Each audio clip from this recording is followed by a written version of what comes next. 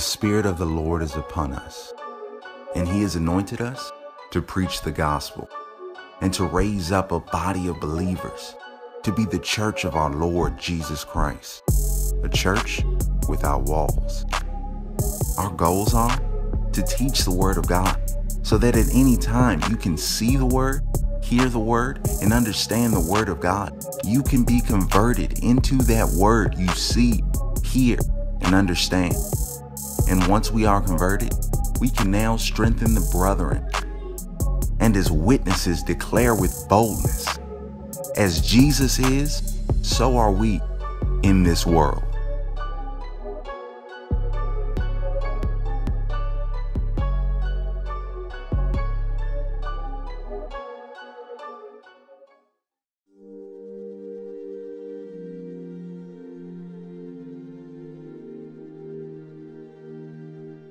I, often get asked the question of, um, uh, of why Christians should care about or think about um, Black History Month. I actually get asked it uh, across the board. I've had African American friends ask me that. I've also had uh, my, my white brothers and sisters ask me. And yet, uh, although I think that it needs to go beyond a single month, there is a special point of emphasis in the month of February to consider the numerous and significant contributions of African Americans in particular uh, to American culture. And, and I want to I, I want to encourage you in this way that, that there is no kind of Western Christianity uh, without what God accomplished in Northern Africa in the first century. In fact, uh, a great deal of our kind of theological understanding and makeup was wrought in Northern Africa, not in Europe. In fact, there, there are many that would even trace the Reformation itself to Martin Luther's relationship with a deacon uh, in Northern Africa. And so our, our, roots as Christians and our roots as America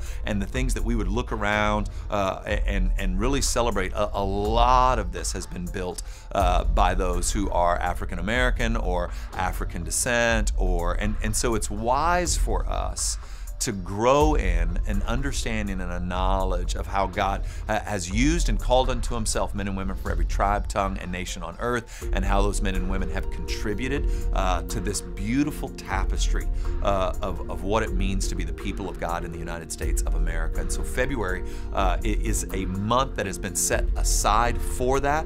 Uh, my, my hope would be that your curiosity might be stoked in February so that you become a lifelong learner uh, about how God is using men and women, both historically and in the present, uh, to shape the kingdom of God in front of us. And so uh, I would just encourage you use the month of February, branch out, identify an African American in history that you don't know anything about uh, or that, that, you didn't hear growing up in the public schools and, and dive in. I, I, would commend you, I think one of the best places to start uh, is Wilkerson's book, The Warmth of Other Suns, about the Great Migration. I think that book, uh, specifically for my Anglo brothers and sisters, uh, lays a bit of a foundation, some historical foundation that I think helps, maybe helps uh, understand kind of the current landscape in a way that, that for many of us, uh, it, it's been hard for us to understand. And so I, I would just commend that resource as just one. Uh, and I think from there, you, will be able to spot some other ones to, to jump off on. So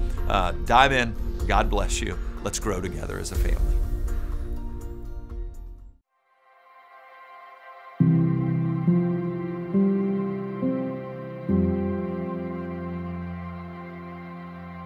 History shapes humanity.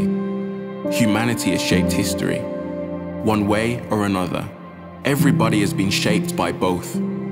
Every single one of the 7.5 billion people on the planet are in some small or big way affected by certain factors, such as gender, age, place of birth, heritage, and yes, even skin color. All these factors are experienced at times as either a burden or blessing, or sometimes both. Is Black History Month in television, cultural institutions, media, and why not in the house of God? We pay attention to the events and experiences that matter. We want to pay tribute and celebrate what it means to be a black person today and throughout history. We're still learning, we're still listening, history is still being shaped.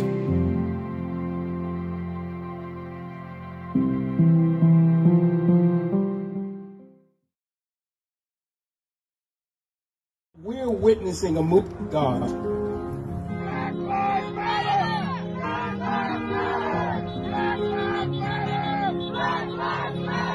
That's not just happening in the States, but it's happening in the world. What we're seeing is God, He is turning the page on racism. He's turning the page on prejudice. He's turning the page on these things that we've had to deal with for 400 years.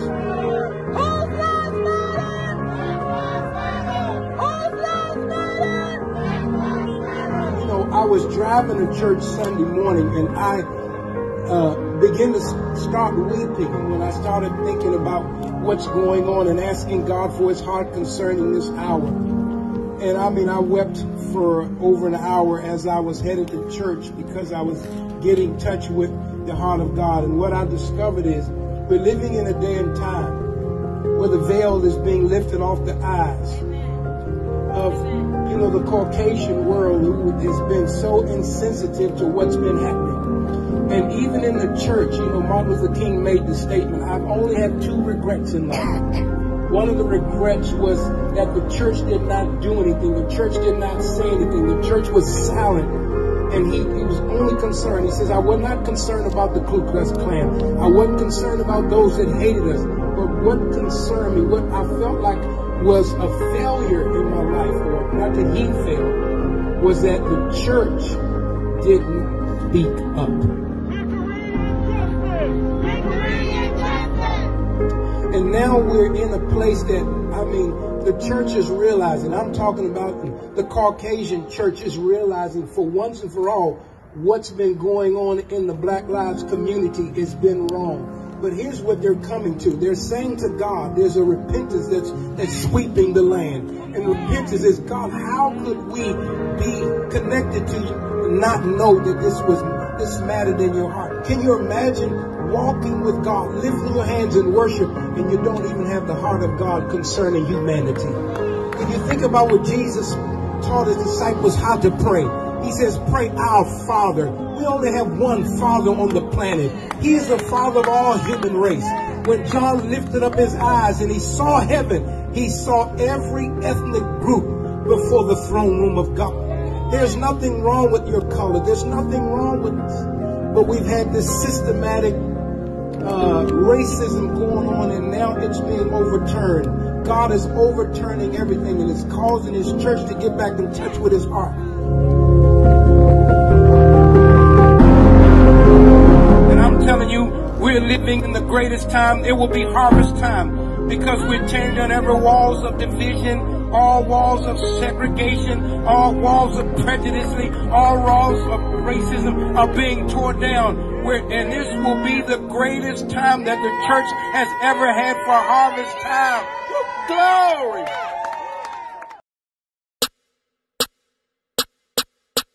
Get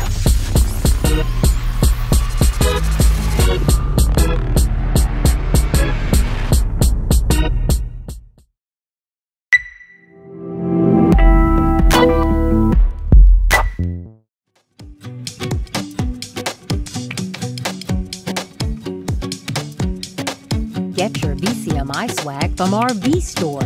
T-shirts, hats, accessories, and more for men, women, and children. Visit vcmi.org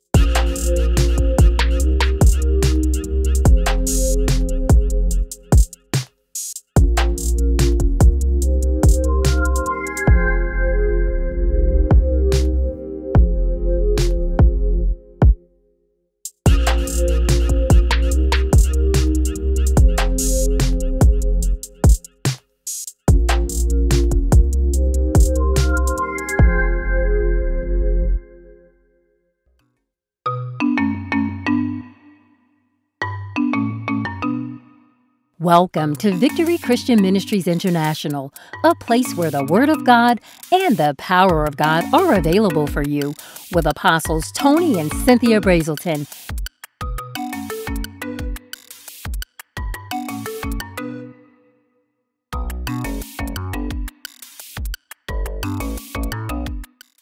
At this time, we want to take the time as a church and as a people of God to talk to you. And we want to pray for what's happening in our country today.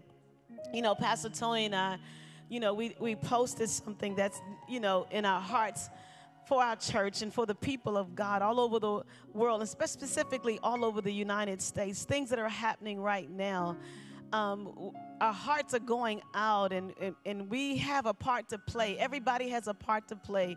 You know, whether you're protesting or, or whatever you're doing, but what we need to be doing as a church, and that is praying the will of God into this atmosphere and into the world. And so, you know, in James 2 and 9, it says, But when you show prejudice, you commit sin and you violate the law, the royal law of love. And truly, the law of love has been violated too many times in our country. The hatred and the injustice that have been taken that have taken place simply because of the color of someone's skin. This is very demonic. You need to know it's demonic. And that demonic prejudice and racist spirit has one thing in mind, and that is to rob men and women of their dignity, their identity, and ultimately to destroy their lives. You know, in John 10 and 10 in the Passion Bible says a thief has only one thing in mind, and he wants to steal, slaughter, and destroy. But Jesus said, I've come that you will give you everything in abundance, more than you expect, life in its fullness until it overflows. God wants every one of us to experience His love and His goodness and show it through one another. A life that overflows in abundance through knowing Him you know, our hearts really grieve with those who have lost loved ones and those that have been victim to this demonic spirit and these demonic attacks that are happening right now. We continue to pray and join with everyone for those, for the, all of this to stop. It has to come to an end. And so we speak into the atmosphere and we pull down the strongholds of this demonic spirit that is plaguing our society and we as a people must be aware of this demonic spirit so that we ourselves don't become prey to it, to this spirit of hatred. Our position is that of love. You know, it says in James chapter 2, verse 8, that your calling is to fulfill the royal law. This royal law has been violated, but we are called to fulfill the royal law of love. And that is, in the scripture, it says that we must love our neighbor as you love and value yourself. For this is keeping the law and, this keeping this law is a noble way for God. He's calling all of us to live. And so we know there's a lot of demonic activity that is happening, but what you don't want to do is again become prey to it. That you don't start hating and, and that you don't stop being that you start being prejudiced against people because of the color of their skin but that we love and value one another. It has to start with the church, it has to start with us. And use the power and the authority that God has given us in His Word so that we can pull down the strongholds of the enemy and walk in the freedom that God has called every human being to walk in and to experience. And so, again, our hearts and our, our thoughts they grieve and they break for those who have lost loved ones and become victims of these, these crimes of hatred. And so we continue to pray the peace of God over our country and that we will be a people that can live in peace and harmony in and with one another. Praise the Lord. Amen.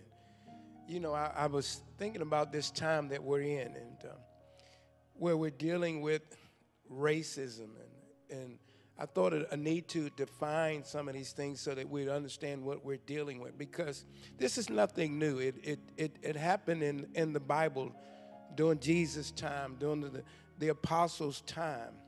But when we think about the word racism, it's, it means hatred or an intolerance of another race. Can you believe that? That there is an intolerance of another race.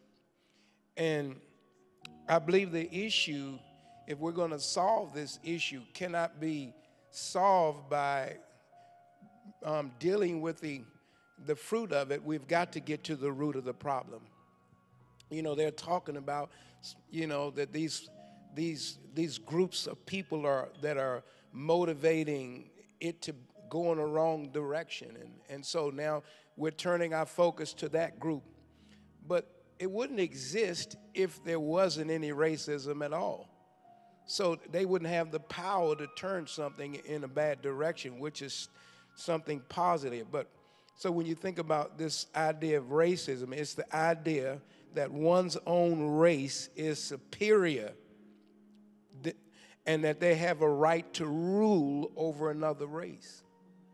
The idea that, you, that your race is superior, we, we get the idea of bias and discrimination, segregation, unfairness, and, and partiality comes out of that.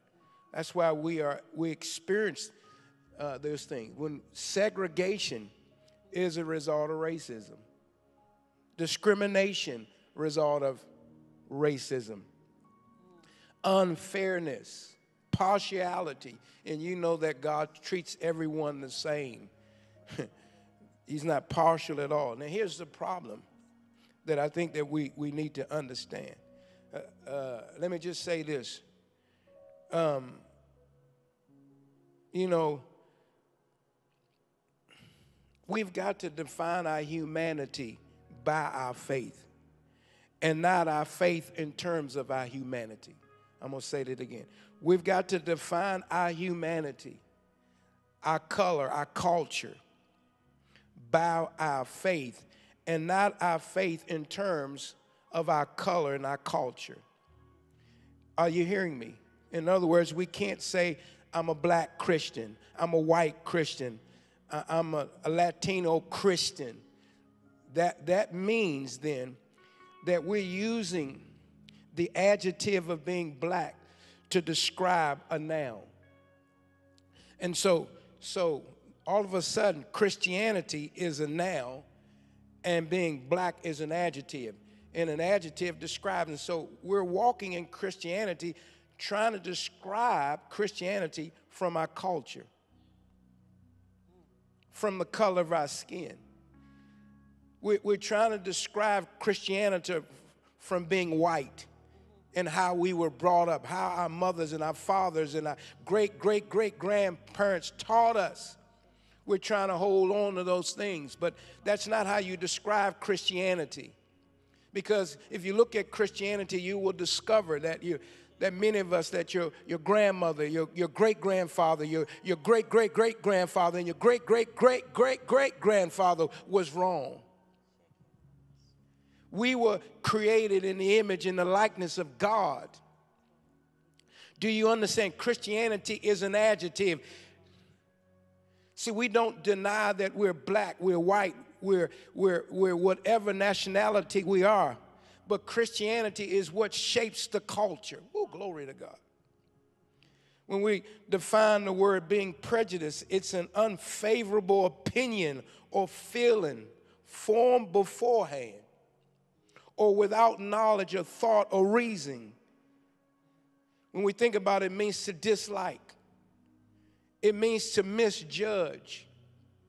We can look at a color of a skin and misjudge it, dislike it. And the problem of it, it, it stems because the solution, it must start in the church. Because the answer to it has got to start with the church it's got to start with the reality of what Christianity is in the mind and heart of God. It's a problem that was dealt with in the Bible. Here is Jesus. He meets a woman in John chapter 4. He goes to Samaria. Listen, God knows that this is in the world, that we're, we're dealing in a society that has fallen and they're, they're dealing with all of these issues and, and their feelings and their emotion. This wrong teaching even in the church. The problem is the church hasn't spoken up. We've been quiet about it because honestly, we believe that. We believe that our, our race is superior than another race.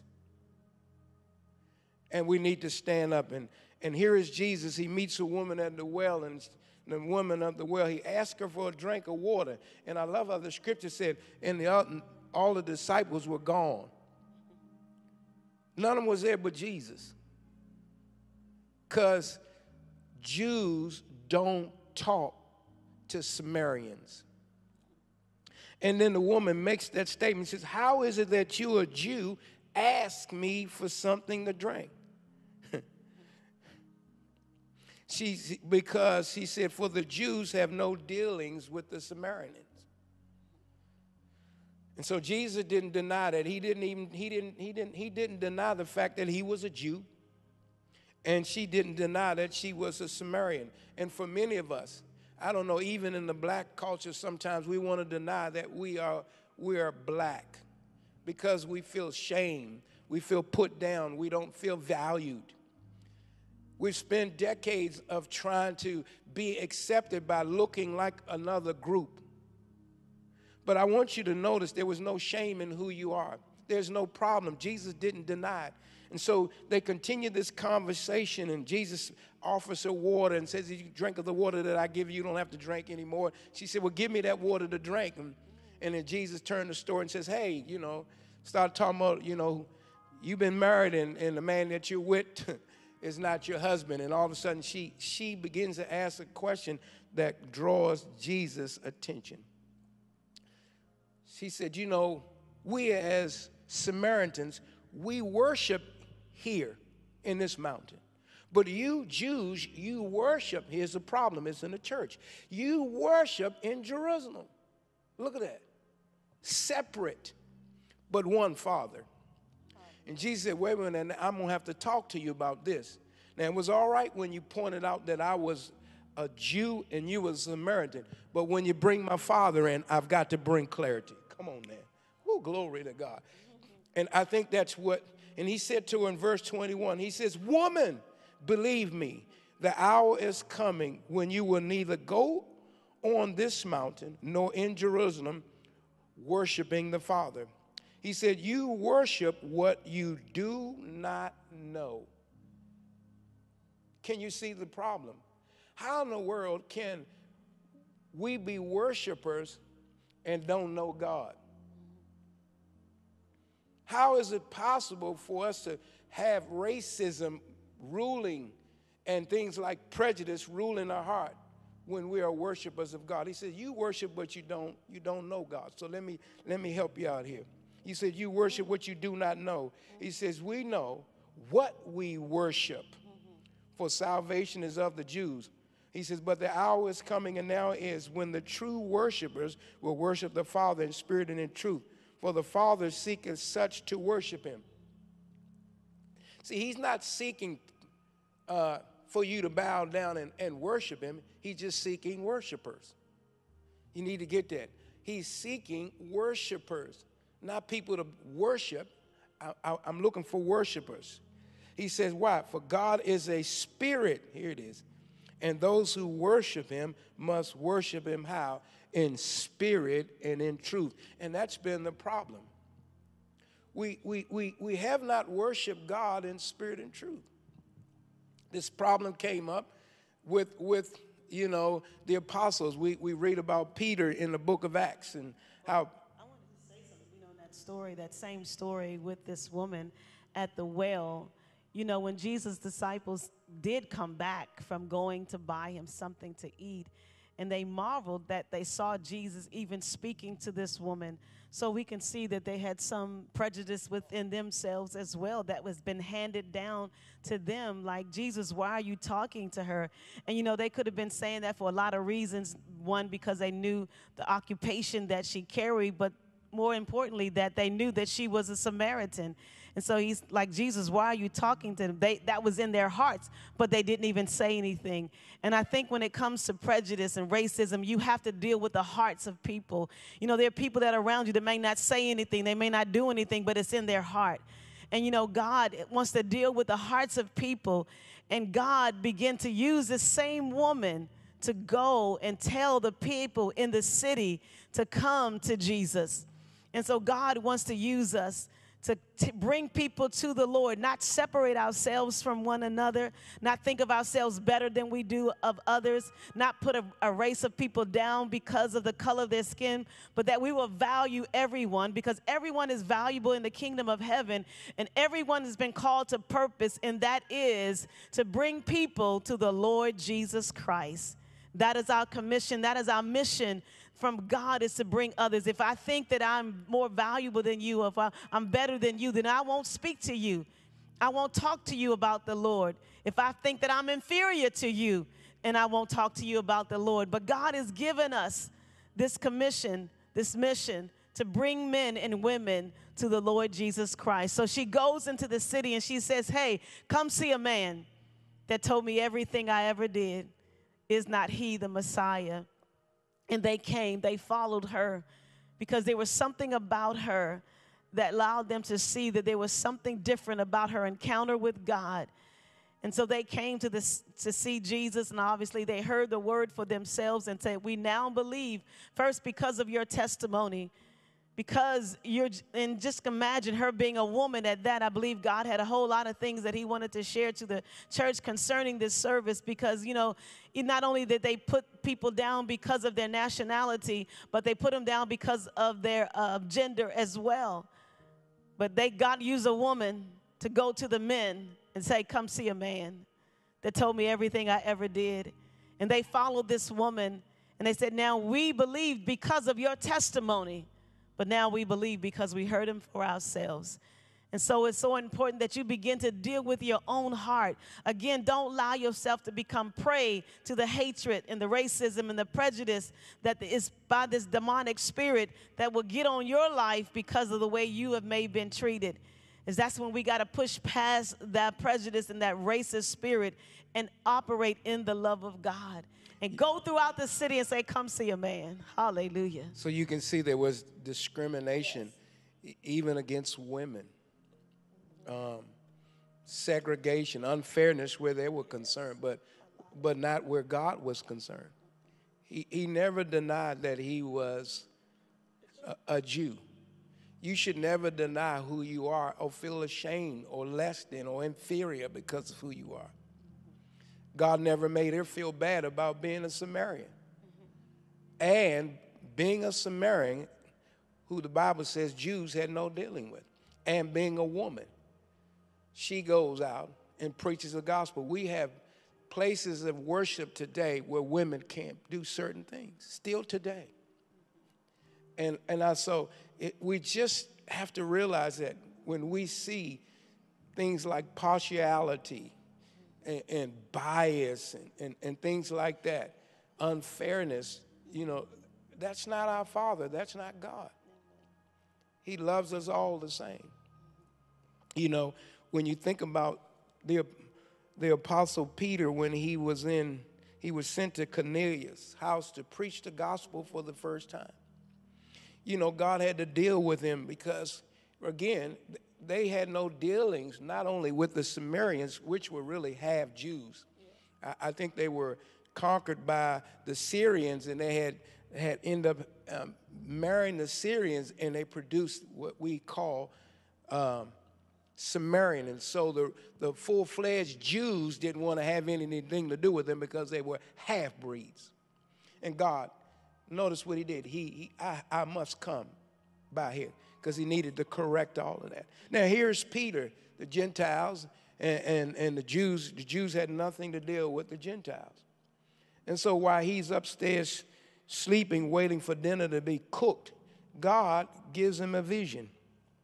And, and I love what it says. Uh, it, it, says, uh, it says, uh, he says, in, mm, he said, then he became hungry and, and, he wanted to eat. While they were making ready, he fell into a trance and he saw heaven open and an object like a great sheet, sheet bound at four corners descending to him and let down on the earth. And in it were all kinds of four footed beasts of the earth, wild beasts, creeping things, and birds of the air. And the voice came to him saying, Arise, Peter, kill and eat.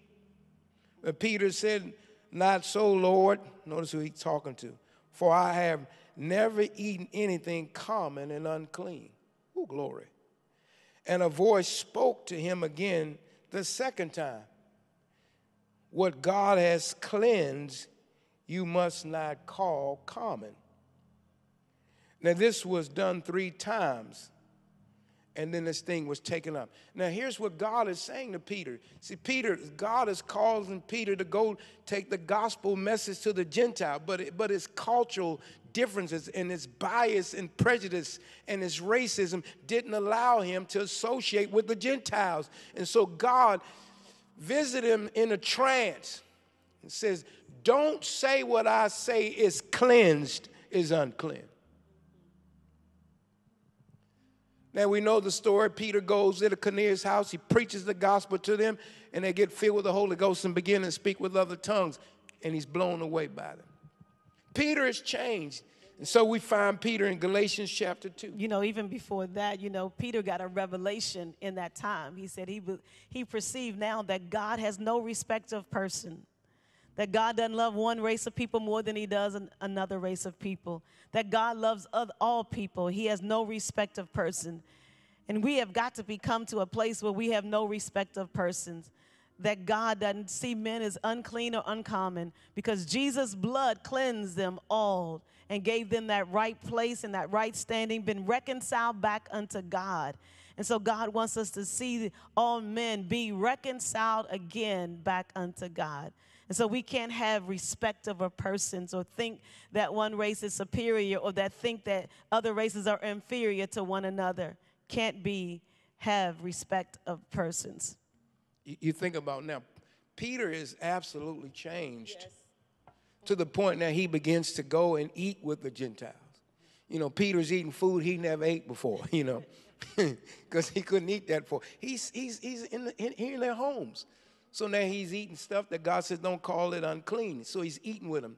And then other Jews come down and catch Peter doing it. So the Bible says in, in, in Galatians that Peter got up out from the midst of the people, of the Gentiles, because other Jews came down and saw him doing that and left them because he did not want to have the backlash of doing something that went against traditional law. It went against being what, what they were operating in. He didn't want to take a stand. And that's why I'm saying the church has to stand up. We've got to go against the traditions of our fathers. And I, I, you know, maybe your father taught you some things that shouldn't have been taught. I was told by a wonderful man of mine, he says, you know, if my father who is in the grave now knew that I was working for black people, he would turn up over out of the grave. Do you understand? We, they were taught some things that, that, that, that, that were not right. And, and, and these people went to church, read their Bibles. But we're finding it happened here in Peter's day. Peter had an encounter with God. God told him, Don't say nothing. It's common, which I've called unclean, that I've called. I said, I called it clean. Don't say it's not clean. And yet here they are still responding to the culture. The culture comes, and all of a sudden, Peter begins to act like he never heard from Jesus. And then all of a sudden, there creates this contention between Peter and Paul when Paul came down and saw that, he brought correction. Come on now. Look at the church. I love what it says. Now, when Peter had come to Antioch, I withstood him to his face because he was to be blamed. For before certain men came from James, he would eat with the Gentiles. Before the people came from James, he would eat with certain Gentiles.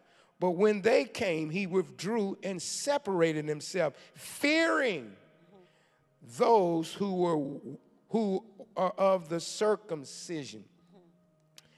And the rest of the Jews also played the hypocrite with him. So that even Barnabas, and Barnabas wasn't even a Jew, was carried away with their hypocrisy. This is what Peter's saying. And then he says, but when I saw that they were not straightforward about the truth of the gospel, I said to Peter before them all, Come on, Paul. If you, being a Jew, live in the manner of a Gentile and not as the Jews, why do you compel Gentiles to live as a Jew? Who we are Jews by name and not sinners by Gentiles, knowing that a man is not justified by the works of the law, but by the faith of Jesus Christ. Even we have believed in Jesus Christ that we might be justified by faith in Jesus and not by the works of the law. For by the works of the law, no flesh shall be justified.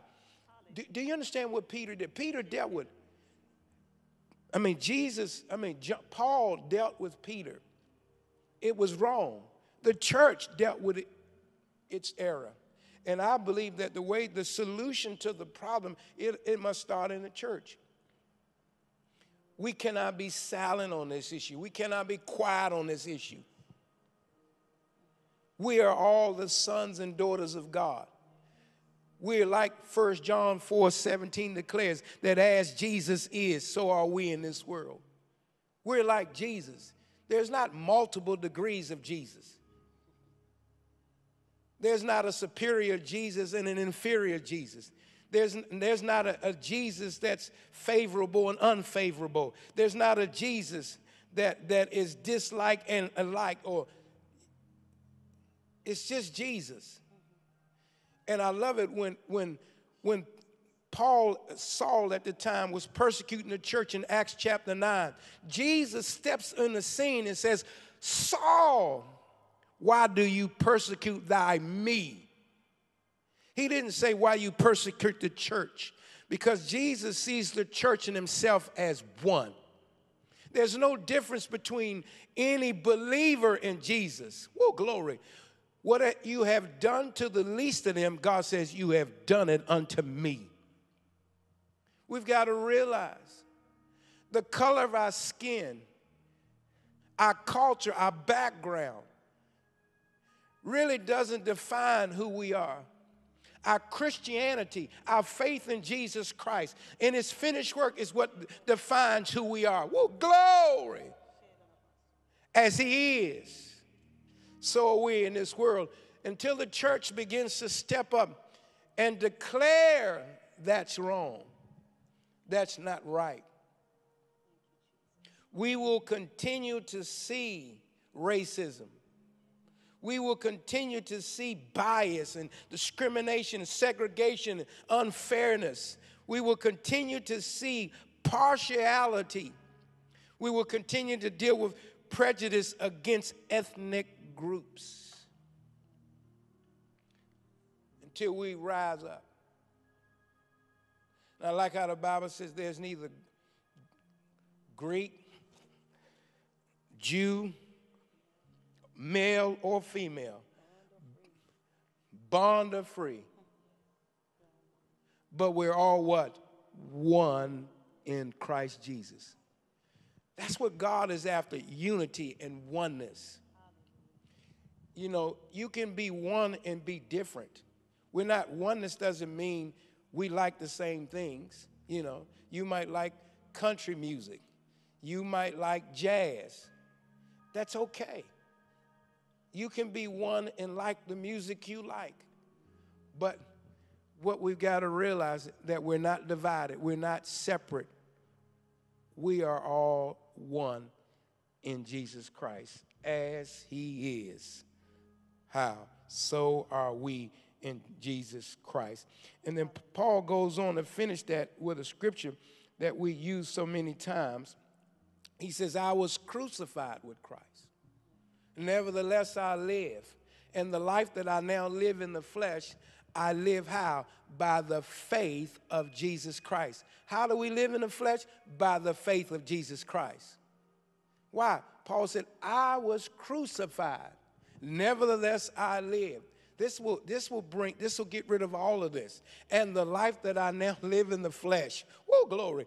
I don't live in racism. I don't live bias. I don't live discriminating, segregation. I don't live with prejudice. I don't live. I live how? By the faith or the faithfulness of Jesus Christ who died for me. Woo, glory. We see Jesus an example with the woman in the well. He didn't deny his race.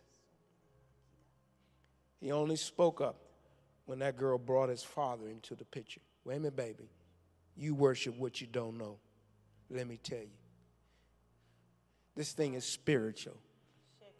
And those that worship me must worship me how? In the spirit and in truth.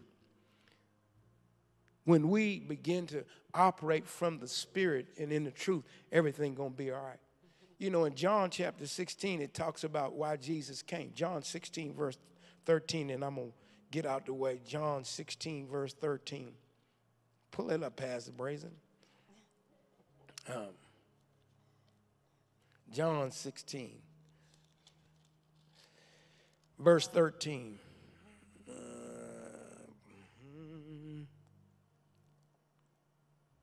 Ah, no servant can serve two masters. Ah, You want- me 16, 13? is that It it? says, But when the Spirit of truth Yeah. comes, he will lead you into all truth.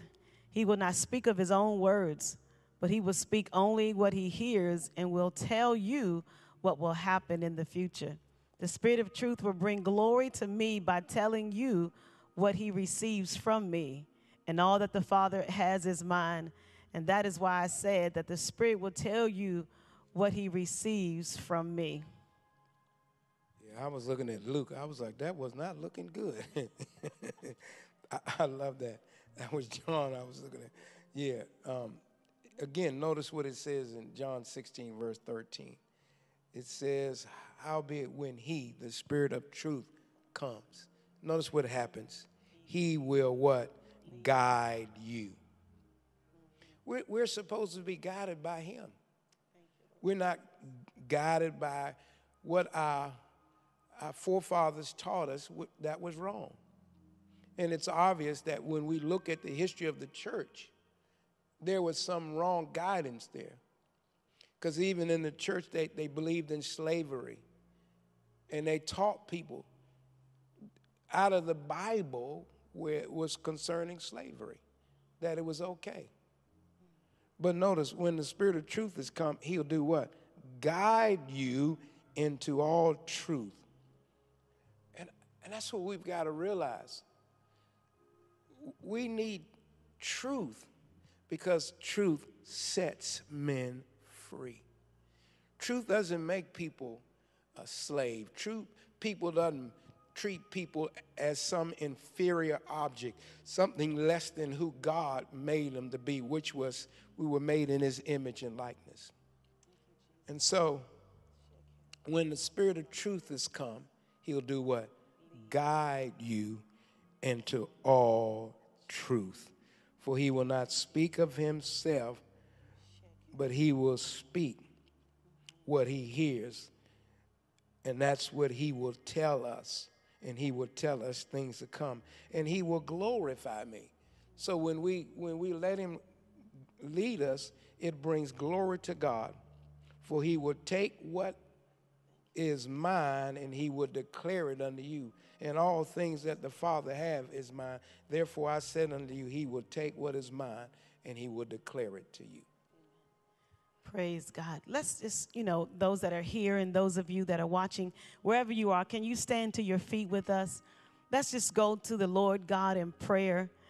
It is our desire, you know, to pray for those that have lost loved ones during this time, whether it's because of the rioting that's taking place or because of COVID 19 or coronavirus. And let's pray for those that have been victim to any of sickness or disease or this act of prejudice or, or racism. That is not the will of God. It is a demonic attack upon our country, a demonic attack upon humanity itself. And that is not the will of God. God is no respect of persons. God, Jesus Christ died for every single one of us. And it was his blood that was shed for humanity, not any one race of people, but his blood was shed for every single person, for all of humanity. And so let's lift up the people of God. Father, we're so grateful, so thankful for the word of God. Thank you for grabbing our attention this morning to the plan and the purposes of God for humanity and your will for our lives. We thank you, Lord God, that there is no division among us, that we're not separate from you, Lord God. We've been reconciled back to you. So, God, we lift up your people before you, Lord God. And first of God, we pray a hedge of protection around about your people. We appropriate the blood of Jesus over our lives, Lord God, and over these United States of America. God, we plead the blood of your Son and the comfort and the peace of the Holy Spirit upon those that have lost loved ones to racism or prejudice or to the COVID 19, Lord God. And Father, we lift them up before you. We speak your peace and your comfort of the Holy Spirit. Rest mightily upon them right now in the name of Jesus.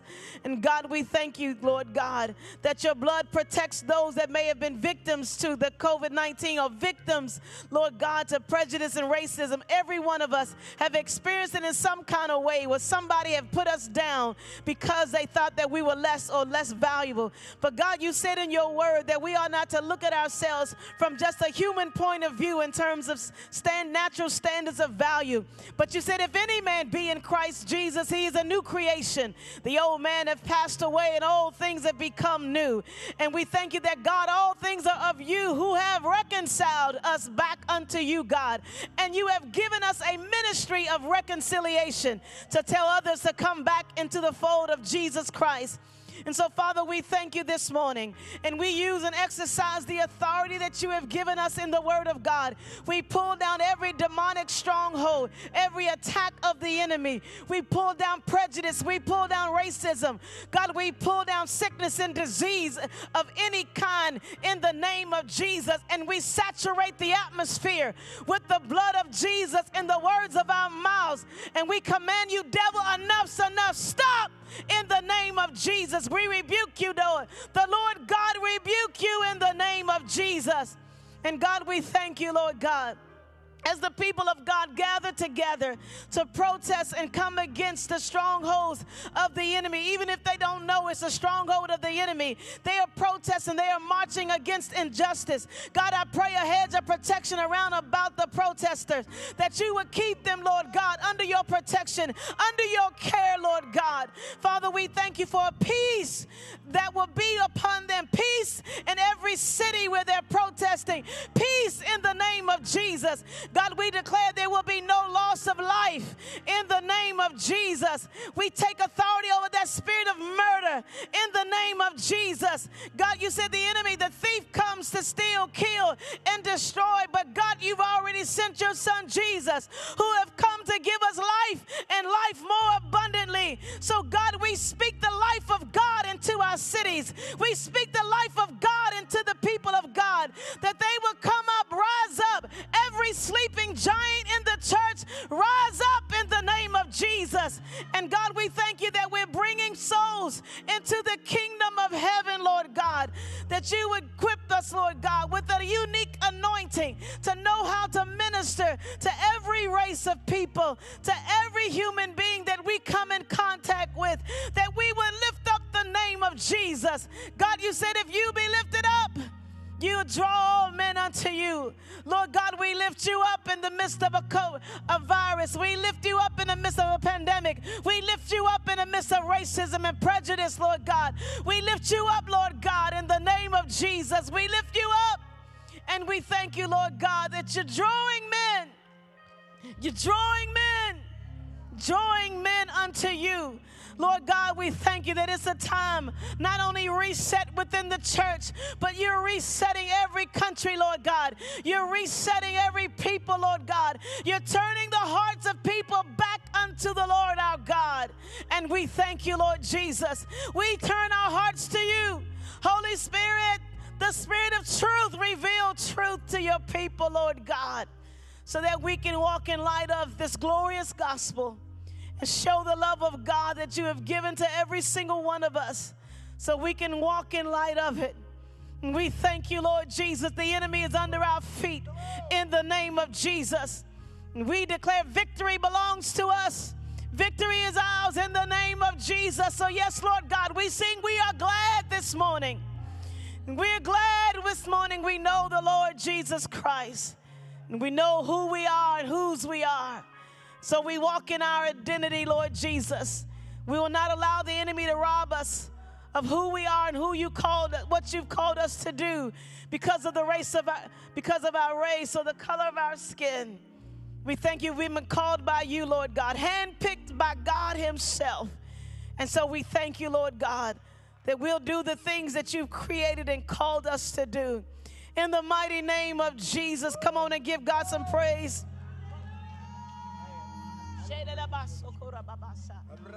Come on, let's just pray in the spirit for a minute. Reba-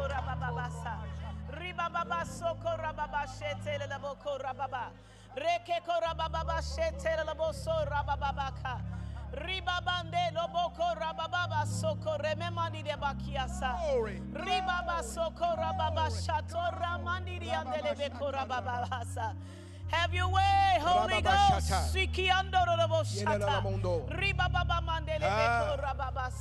I want to read this, Hallelujah. and then I'm going to pray for you in the audience. Thank you, Lord Jesus. The Bible says, For as many as that are led by the Spirit of God, they are the sons of God. You, When the Bible speaks of sonship, it speaks of maturity. He says, For they are the, the sons of God. For you did not receive the spirit of bondage. We didn't receive the spirit of bondage, racism and discrimination and segregation, uh, prejudice. We did not receive the spirit of bondage again to fear. Fear is what's been perpetuating all of this. I'm afraid of something that I don't understand. It's, it's a generally a practice to be afraid of something that you don't understand. I, don't understand the, the, their culture. I don't understand the color of their skin. So I am afraid you develop biases and unfair opinions. But God said, I have not given you a spirit of bondage to that. Woo, glory. Rabasataya. But you have received the spirit of adoption. I thank you. By whom we cry, Abba, Father. It says, The Spirit Himself bear witness with our spirits that we are the children of God. And if children, then heirs.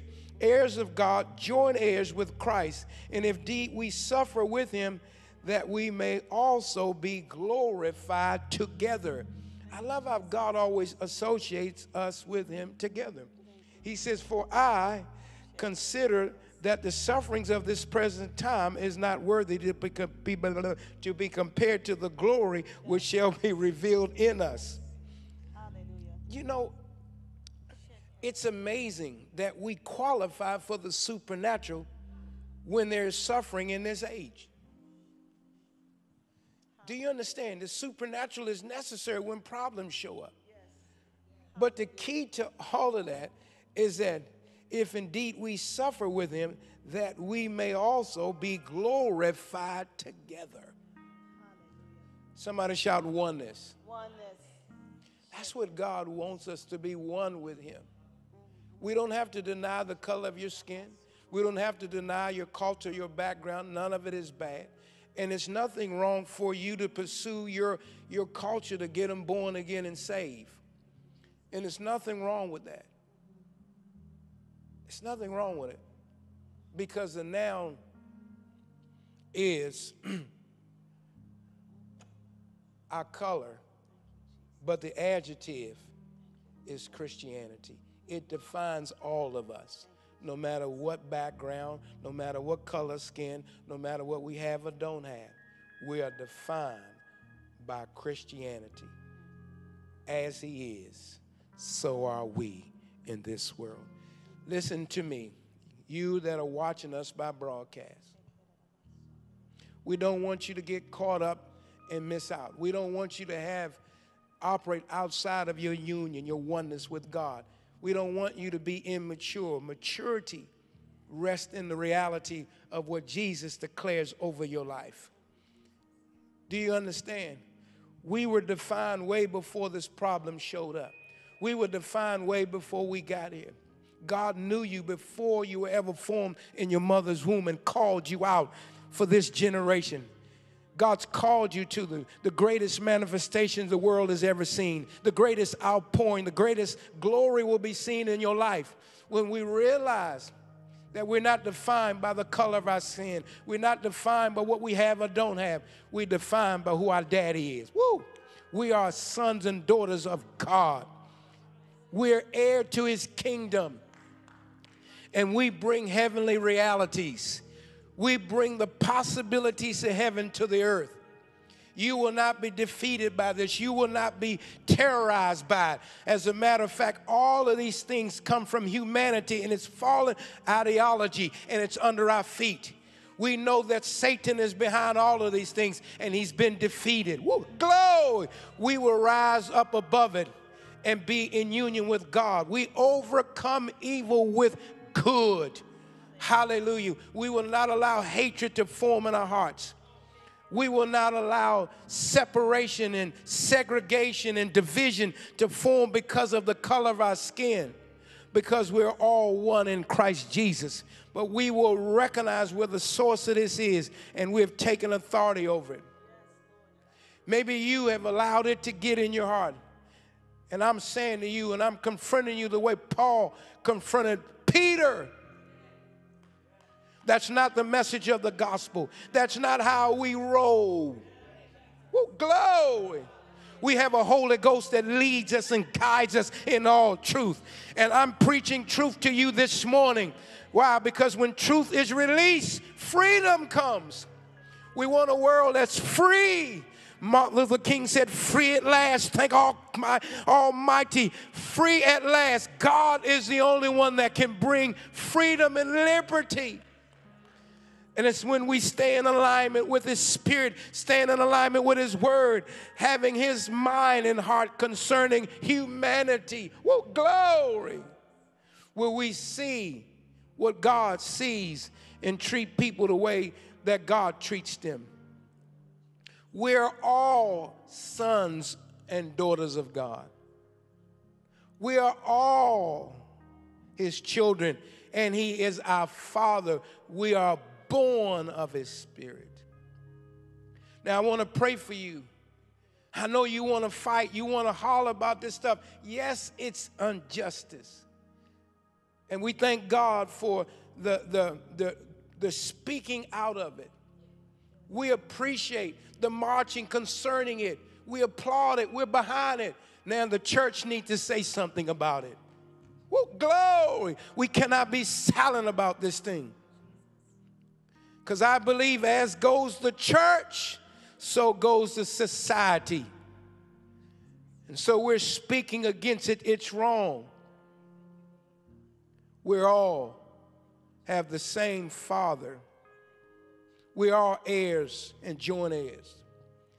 So let me pray with you here. Maybe you're tuned in and you don't know the God that we're talking about. Maybe this seems foolish to you.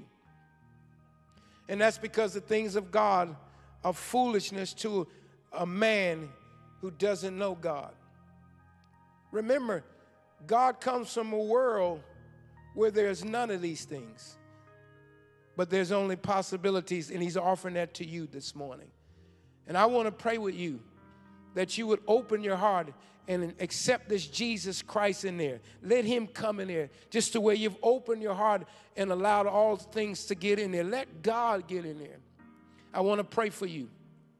Say, Dear Lord Jesus, I want you into my heart today. I want you in my life today. I believe that you came to this planet. You died for all of our sins, and you was raised from the dead and you're alive forevermore. Woo, glory. I'm asking you, I received Jesus this morning as the Lord and Savior of my life. I denounce hatred. I denounce racism. I denounce prejudice, bias, unfair opinions. I recognize it doesn't come from God. I recognize Jesus loves the whole world. And I make the quality decision to be like him. If you're here this morning and you, you have walked away from your Lord and you want to reconnect, be plugged once again back into your relationship, say, Lord, I repent. Forgive me. I want to come home. I open my heart once again to you. I receive you as my Lord and Savior in Jesus' name. Listen, as soon as you prayed that, it happened for you. Now, there is a gift of the Holy Spirit that gives you a language from another world. Yes, we have a foreign language. it's called the baptism of the Holy Ghost will give you a foreign language. He'll give you the language of the Spirit. And if you will lift up your hands and open your heart, God will fill you with this foreign language. Father, you see those who have lifted their hands before you. I'm praying that the Holy Ghost will come right where they're at and fill them with the Holy Spirit with the evidence of praying in the Spirit. In the name of Jesus, I speak to somebody who is having a heart condition. You're, you're struggling with something going on in your heart. I declare over your heart the healing power of God. I release glory, glory into those airways. I command health and healing to all your flesh. Glory, I release it now in the name of Jesus. I come against arthritis. I come against tumors. I come against even a doctor's report that has spoken against your body. And I declare in the name of the Lord Jesus Christ, it will not be so. I declare, live and arise and be healed in the name of Jesus. And last but not least, I speak to those who, if you want to be in partnership with us, partnership with Tony and Cynthia Brazelton, then I want you to um, go to our website, connect with us, um, and let us know that hey, I want to become a partner. I want to I want to get in on the game. I want what's on your life to be on my life. I want to participate because I know that you know, virtual church is real now. We have partners all around the country who cannot necessarily come to a building, but you can partner with us by the, through the airways, through this virtual connection. And so I pray for you this morning. Father, I lift up everyone before you. And Father, I thank you. The best is yet to come. That these are the days of the greater works and I prophesy greater works will come from your life. Woo, glory. You will not die without fulfilling the prayers that you've been asking for.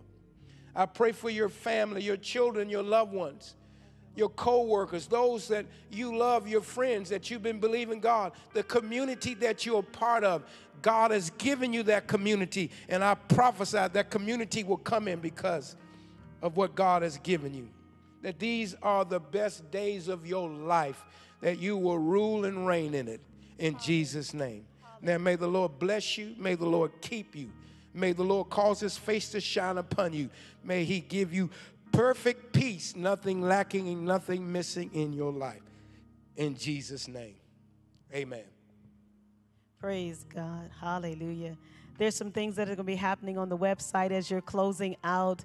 Thank you so much for being a part of this service today. Listen, we have our part to play. Whether you are one of the protesters, we're praying a hedge of protection around about you. Make sure every one of you vote. Vote in people that will put a stop to racism in our country. Make sure you do your part and support those that desire to stop all of this. This is our part in it. And as you continue to pray to pull down the strongholds of the enemy, in the mighty name of Jesus. Have a blessed day. We love you so much. God bless you.